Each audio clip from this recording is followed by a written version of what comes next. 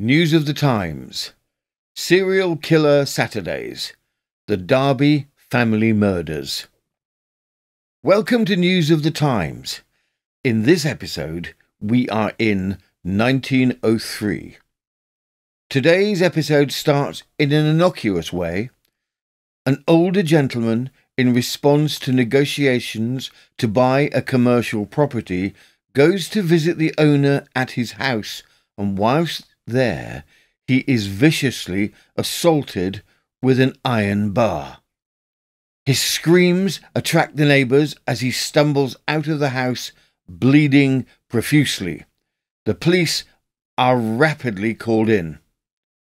What quickly unfolds from there is a particularly gruesome triple murder. The bodies have been relatively freshly murdered and dismembered with the body pieces being placed into sacks and then buried in the small back garden of the house. Clothing, furniture, and even the missing family's dog are all found at the house in question. We look into the backstory and the crimes of the Essex Leyton mystery. We hope you enjoy the show. It is early 1903. England and London especially is still recovering from the brutal Ripper slayings.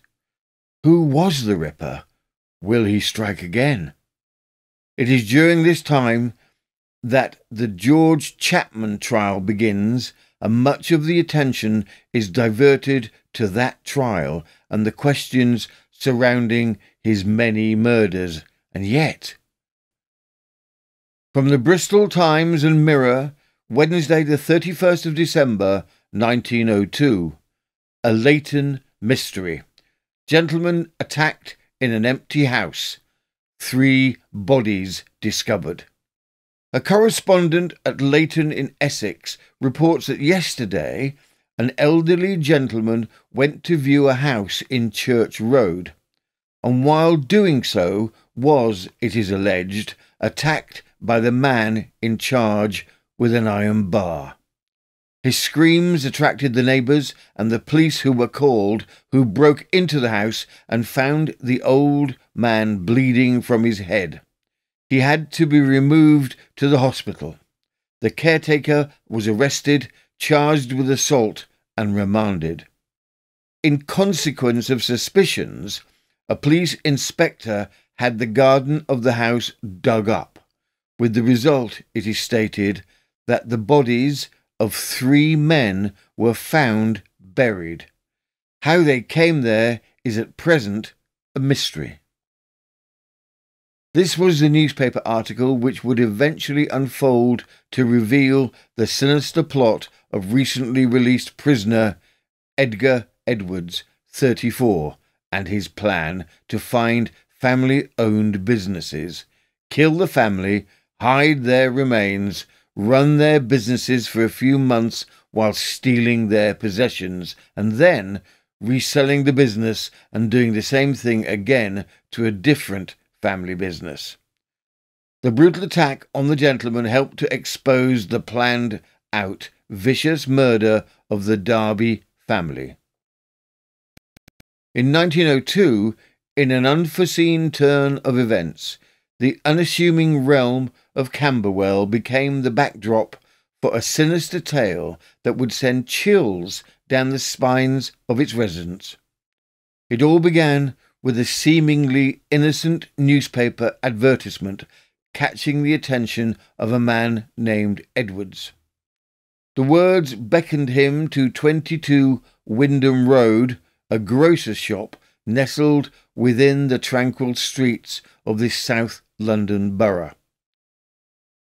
Eager to seize the opportunity, Edwards presented himself to the proprietor, John William Darby, accompanied by his devoted wife, Beatrice. Their visit, which took place in the early days of December in 1902, unfolded with the air of amiability. Edwards, with a veneer of sincerity, expressed his conviction that the shop before him was the very embodiment of his desires. He assured Darby and Beatrice that he would promptly assume the responsibilities of proprietorship and swiftly appoint a capable manager to oversee its operations. From the Western Daily Press, the 1st of January 1903, a Leyton mystery, gruesome discovery. The mysterious discovery made at Leyton when three mutilated bodies were found buried in a garden was to some extent elucidated yesterday by the identification of the victims, and a man named Edgar Edwards is charged with causing their deaths. The circumstances of the tragedy extend over a period of about two months, but only during the last few days have the police become possessed of information justifying them in charging Edwards. The prisoner was charged at Stratford Police Court on Christmas Eve with committing a violent assault on an elderly man named John Garland of Leytonstone by striking him on the head with a piece of iron. And whilst the accused was under remand, police investigations revealed a terrible story. The names of the persons who are supposed to have been murdered are William John Darby, aged 38, Beatrice Darby, his wife, aged 28, and their baby, aged three months. They were respectably connected and kept a shop at Wyndham Road, Camberwell, which they were supposed to have sold to Edwards about the middle of November when they suddenly disappeared.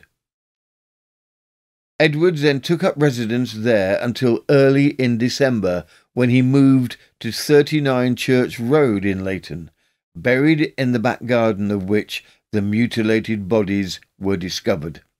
Edwards was assisted with the Wyndham Road business by a sort of handyman, and subsequently he and Edwards were seen to drive a covered van to the shop, lift into it some furniture and a couple of boxes supposed to contain crockeryware and drive away.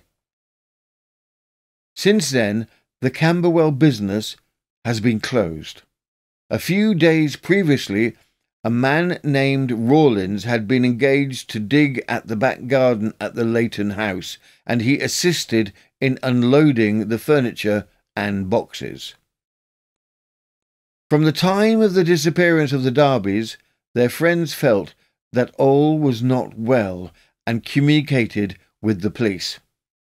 When Edwards was in custody and his house searched, Neighbours told of strange happenings in the garden, and the outcome was the discovery of the bodies. In the upstairs rooms were clothing belonging to Mr. and Mrs. Darby, and a small dog formerly belonging to Mrs. Darby was also found in Edward's possession, and, it was said, was continually smelling around the spot where his master and mistress were buried and would not move away. The officers also found a letter purporting to be a reference from Mr. Darby to a house agent of whom Edwards took the house at Leyton. The bodies, when discovered, presented a shocking sight. They were tied in half a dozen sacks. The head, the arms, and legs had been severed, but although decomposed, were identified by the deceased's relatives. On searching the premises at Wyndham Road, the police discovered evidence of bloodshed, whilst on the floor, wrapped in paper, was a window sash weight with blood marks on it. An old rusty saw was also found, which had been handed to an analyst. The appearance of the room indicated that it had recently been washed. The Darbys had been in the Wyndham Road business about twelve months, but as it was not satisfactory, advertised it for sale, and Edwards entered into negotiations. The inquest will be opened tomorrow, but probably only formal evidence will be taken. The accused was brought up at Stratford Police Court yesterday morning. He is pale, rather cadaverous looking man, more than average height. On being placed in the dock, the magistrate reminded him that he was charged on remand with maliciously wounding John Garland.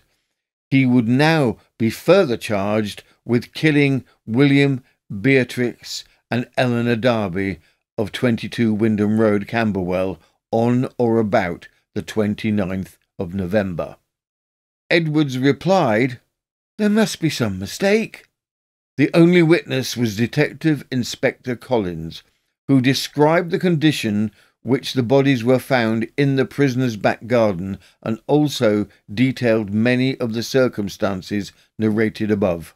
A remand for the week was granted. The murder. The murder had clearly been planned out. The murder weapon came from the weight system sash windows of the time. Sash windows, popular at the time, were in essence a weighty frame equipped with a concealed iron counterweight, giving the user the ability to ascend and descend the windows with ease. This mechanism operated by means of a sturdy cord, its purpose hidden from view. Edwards arrived at the appointed meeting having in his possession both the sash weight and the cord, ensuring that the murder was pre planned. It is now believed, amidst the chilling silence of that fateful encounter, that Edwards, driven by an unspeakable malevolence, brandished his chosen instruments to unleash a brutal assault upon John William Darby and his wife Beatrice. The blows delivered with callous intent snuffed out their lives, staining the once tranquil atmosphere with the irrevocable tragedy of their demise. And yet, the grim fate that awaited their innocent ten month old daughter Ethel was far from over. In a macabre twist, it is alleged that Edwards, devoid of humanity, employed the very cord that had facilitated the movement of the sash windows to extinguish the precious life that clung to the cradle of the Darby family. Edwards next found himself confronted with the ominous task of concealing the lifeless forms of the ill fated Darby family. With a calculated resolve, he secreted their bodies away in a concealed chamber above the shop, shrouded in an eerie veil of darkness. Unbeknownst to the unsuspecting shop manager, a certain Mr. Goodwin and his wife, who, for several days, dutifully presided over the business, the grisly secret lay dormant above them. On the 10th of November, Edwards explained to his recently hired manager that he was going to sell the shop. In order to sell the shop, the bodies which had been dumped above the shop had to be disposed of. Edwards took the opportunity to cut the bodies up, place them in Hessian sacks, and relay them to the Leyton house and bury them in the back garden. It took all of their furnishing, their crockery, many of their personal items such as clothes and even their dog as his own, and he transported it all to his newly acquired Leyton home. From the Manchester Evening News, the 1st of January 1903. Gruesome discovery in Essex. Supposed triple murder bodies buried in garden. An extraordinary and shocking discovery which, according to present indications, points to the commission of triple murder was made yesterday afternoon in Church Road, Leyton in Essex. About one month ago, a man named Edgar Edwards, aged 34, by occupation a grocer, became the tenant of a house in Church Road, and taking possession of the premises, he took with him several large boxes. Shortly afterwards, he had the back garden dug up in order, as he said, to lay out flower beds. In some way, he became acquainted with an old man, and about a week ago, when Edwards and the old man were in, the former committed assault on his elderly acquaintance, which was of such a violent character that information was given to the police and Edwards was arrested. He was brought up before the magistrate at the Stratford Police Court in the ordinary course and remanded into custody while the circumstances of the assault were being investigated. First, suspicions. The landlord of the house in Church Road appears to have become suspicious of his tenant and accordingly went to Police Inspector Young and communicated information of such a character that that officer proceeded with several other policemen to Edward's house yesterday afternoon. A search was made of the garden, which is only a small one, and had, as already stated, been recently dug up. On turning over the soil, the officers were horrified to come across some human remains, but their horror increased as they pursued their gruesome task, because it speedily became evident that there was more than one body buried in the simple looking garden. Finally, the policemen ceased their terrible task, and when the remains they had gathered came to be examined, it was found that they represented the mutilated bodies of three persons. The bodies were those of a man aged about 25 years old, a woman apparently about the same age, and the third the body of a baby about three months old. The heads, arms, and legs of both the man and the woman had been severed, and the skulls of both showed palpable signs of having been struck with some heavy instrument. The baby had a handkerchief tied tightly round its neck, and death in its case was evidently due to strangulation. The three bodies were removed to the local mortuary, and the police are pursuing their investigations. The charge against Edwards. Edwards was still in custody, and up to the present, the only charge against him is that of assaulting the old man. It does not, of course, follow that because he happened to be the tenant of the premises at the time of the discovery of the bodies, that he had any connection with the placing of them in the position in which they were found but all the appearances indicate only too clearly that the house in Church Road must have been the scene of a terrible triple crime about a month ago. It seems somewhat strange that the police of the district should have been sent for at least a month past without any information of any missing persons being sent to them. The district is not very thickly populated, and the possibilities of a full grown man and woman and young baby being killed and buried in a garden in a public street is regarded with something like terror by the police and the people in the neighbourhood. Police court proceedings. A grocer in the dock. At Stratford Police Court today, Edgar Edwards 34, grocer of Church Road, was charged on remand with unlawfully and maliciously wounding John Garland by striking him on the head with a piece of iron and inflicting grievous bodily harm on the 23rd of December.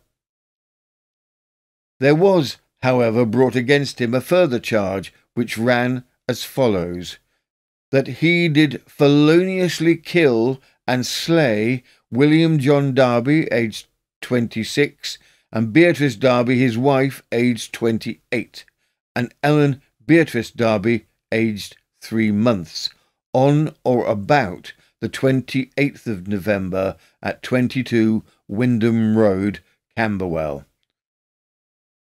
As soon as the charges had been read in court, the prisoner exclaimed to the magistrate, Sure, sir, there is some great mistake. Detective Inspector Collins stepped into the witness box and said that as the charge was now one of murder, he asked that the prisoner be remanded on the original charge, that of wounding, so that the whole of the facts might be laid before the public prosecutor. The bodies, said the inspector, were found buried in a garden of a house occupied by the prisoner, and evidence would be adduced that furniture and effects belonging to the deceased were found in that house.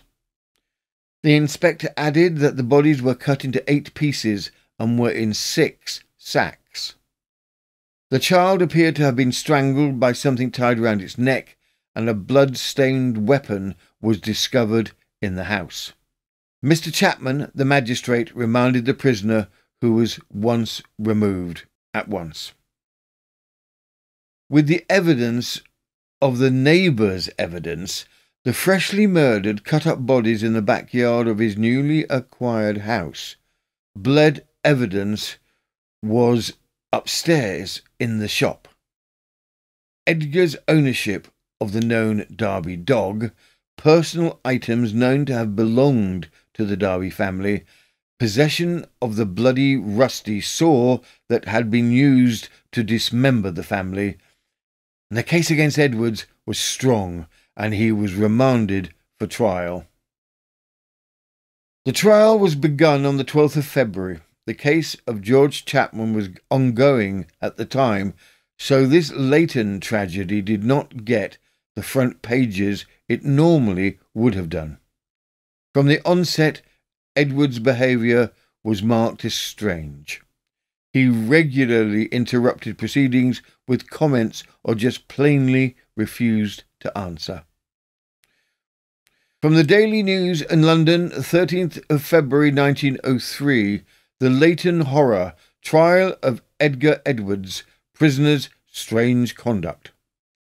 Mr. Justice Wright yesterday commenced the trial at the Old Bailey of Edgar Edwards, aged 44, a tall, powerfully built man described in the calendar as a clerk on indictments charging him with having wilfully murdered William John Beatrice and Ethel Darby at Camberwell, and with having attempted to murder John Garland at the house at Church Road in Leyton, the garden of which the mutilated bodies of the Darbys were found buried.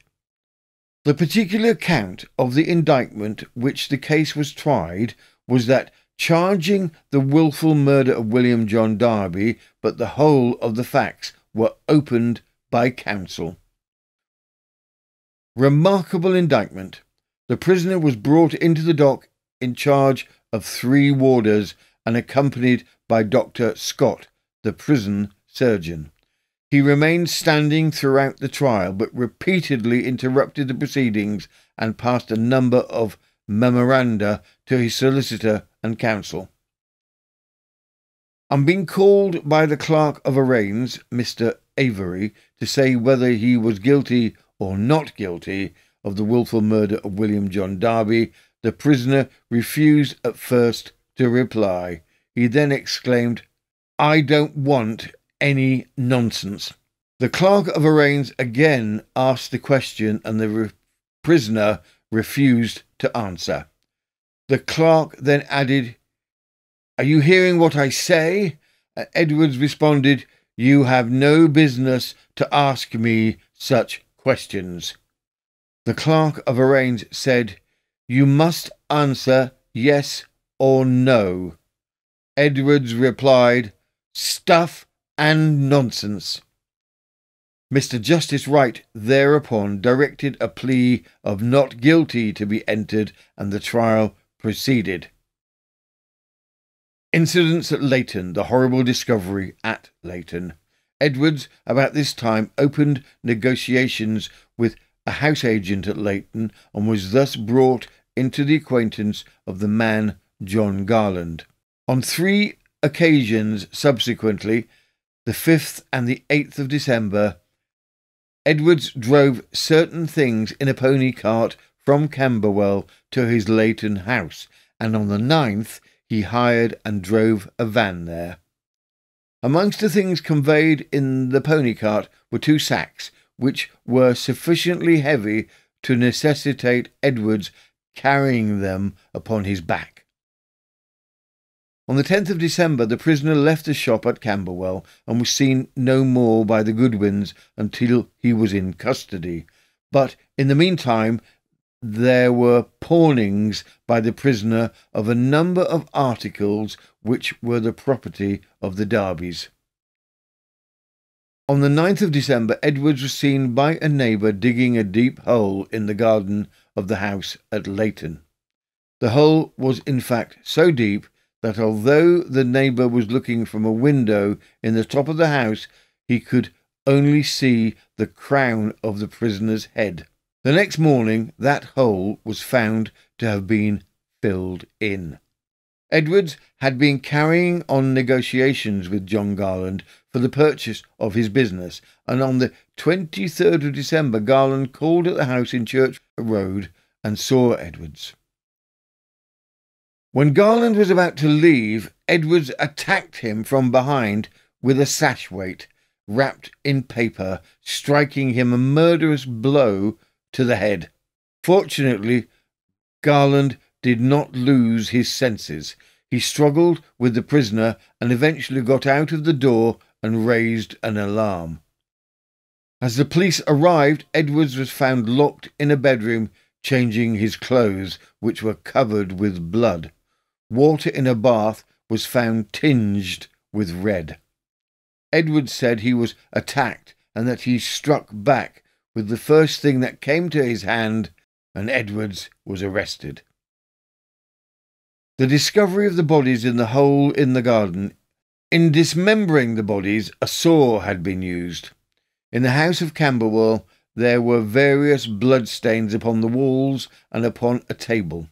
This completed the story of one of the most gruesome crimes ever placed before the court, and counsel invited the jury upon these facts to say that the prisoner was guilty of wilful murder. The motive, he suggested, having been to get possession of the business and property of the murdered man. Darby was murdered by means of a sash weight, and Edwards was found in possession of that weight. Is the prisoner insane? Dr. Luff's evidence was interesting in the sense that it seemed to indicate from the position of the blood spots found in the room at Camberwell, the positions of the murdered man and a woman at the time that they were attacked. He said that the spots on the fireplace must have proceeded from a person sitting in front of the fire and those higher up from a person standing. In cross examination, Dr. Luff said that if there was insanity in the prisoner's grandfather and uncle and nieces, it might set up possible predisposing cause to insanity in the prisoner. He could not say that many of the prisoner's acts showed that he was mentally unsound. He did not think the weapon used was an extraordinary one. It was very effective. Many persons might be callous without being insane. He continued he had seen no indication of insanity in the case. Edwards was easily found guilty of the murders and was sentenced to execution. Whilst awaiting his execution, Edwards was sent to Wandsworth Prison, where he was considered a difficult prisoner. From the Stockton Herald, South Durham and Cleveland Advertiser, the 21st of February 1903. Reported confession. Edwards has maintained his sullen, vengeful manner.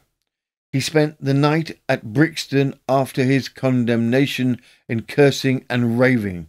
When received at Wandsworth on Saturday morning, He refused absolutely to receive the chaplain or listen to his prayers. He spent the day yesterday in pacing the narrow confines of his cell like a wild animal, and railed at his guards and caused them to move about as much as possible. You had trouble getting me out on Saturday morning, he said, referring to the barricading of his cell door at Brixton. You'll have a damn sight harder time getting me out when I swing.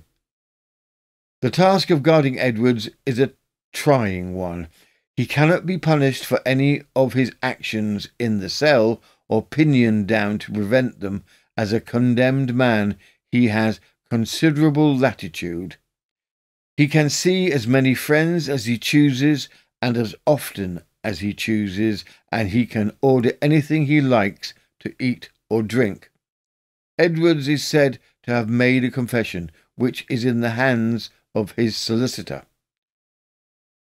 Madame Tussauds have offered £200 for it, and another person has made an offer of £100 for the cold ringed pince nez, which he wore until deprived of them by the prison authorities. The question of Edward's actual sanity came up several times as attempts were made to have his sentence remanded to life in prison in Broadmoor. There had been several cases of insanity in his family, but ultimately this attempt failed.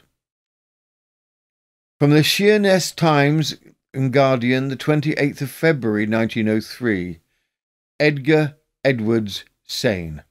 Specialists find no grounds for a respite of the Leyton murderer.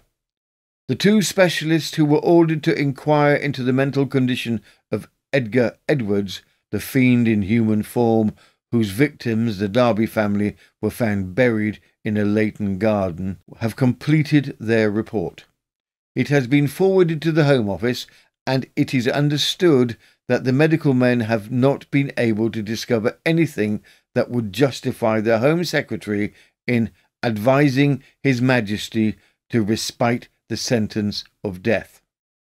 The condemned man's behaviour changed considerably during the latter part of last week, and although he would not receive the ministrations of the prison chaplain, he has been very earnest in his talks with a nonconformist minister whom he asked to visit him, and he has been to chapel each morning latterly, occupying the special pew set apart for condemned prisoners. Two warders sit each side of him during the service, and three others are outside should their services be required. He has also been allowed to exercise for about half an hour each morning in the exercise shed since he has become quieter. Edwards has written a letter to one of his sisters begging forgiveness for the trouble and disgrace he has brought on the family. His mother, who is over 80 and is living in a respectable part of north east London, has been spared the knowledge of her son's position. On the 3rd of March 1903, Edgar Edwards was hung. From the Sheffield Daily Telegraph, 4th of March 1903. The execution of Edwards. Edgar Edwards was executed at Wandsworth Jail in London yesterday morning for the horrible murder of Mr. and Mrs. Darby and their infant child on December the 1st last at Camberwell. Edwards is said to have slept fairly well until aroused at six o'clock yesterday morning, when he was also reminded that it was his last day, which he said, Yes, I'm ready. I shall give you no trouble. At seven o'clock he ate a good breakfast of coffee and bread and butter, and afterwards asked to see the governor, whom he personally thanked for the kindnesses and little indulgences allowed to him. He was then seen by the chaplain, and reiterated his statement that he was prepared. He, however, was nervous and excited and extremely pale. Shortly before the time appointed, the condemned cell was entered, and Edwards at once arose and stepped forward. To safeguard against the possibility of any display of violence, or, or on the other hand, fear by Edwards, there were four warders present. But as events proved, they were not required, as Edwards met his death with great fortitude. He was ghastly white when led from the cell and shaking with suppressed excitement, and on the journey to the platform he made several incoherent statements and also repeatedly thanked the prison officials. He kept his promise in not giving any trouble, and both Billington and Mr. Under Sheriff Metcalfe described the execution officially as very easily carried out. The lever was pulled by Billington at the usual signal while the chaplain was reading the burial service, and Dr. Beamish at once pronounced life to be extinct. Edwards was hanged in prison attire, as is the custom now, and leaving the cell he walked with firm step, but with a curious bent forward attitude. On the scaffold he made several remarks in the form of prayer, having previously thanked the chaplain for his ministrations and making expressions of hope that God would forgive him his misspent life. His last words, distinguishable to those standing by, were, Good Lord, have mercy upon me. That concludes this episode of Serial Killer Saturdays, the Darby family murders. We really hope that you've enjoyed the episode. We would like to thank our tremendous supportive subscribers. Thank you. Your comments, suggestions, and interaction is greatly appreciated. Thank you again. If you haven't subscribed, we would be very grateful if you did. We need a minimum of 1,000 subscribers to keep this channel alive. Please subscribe, tell your friends, and share on social media. We would greatly appreciate it. We upload six days a week. Fridays are a new limited series called Forgotten Fridays, where we explore a snapshot from newspaper articles, advertisements, and publications of a time from long ago. Saturdays are Serial Killer Saturdays, where we do an in depth look at a serial killer from our extensive database. The time span of these ranges from as early as the mid 16th century to the 21st century and encompasses men, women, children, and couples who kill. Sundays are eccentrics as we do an in depth look at some of the quirky, unusual, notable, and bizarre characters from Great Britain, which offers up a rich supply to choose from. Mondays are murderous, where we investigate in depth a historical murder. Tuesdays are twisted and usually involve a collection of stories based around a theme, such as stories of matricide or when employers go bad. Wednesdays are wicked in this new series that will explore outrageous organizations, bloody locations, and shocking events with a bit of murder and mayhem sprinkled in. From all of us at News of the Times, thank you again for watching or listening. This has been News at the Times, and I am Robin Coles.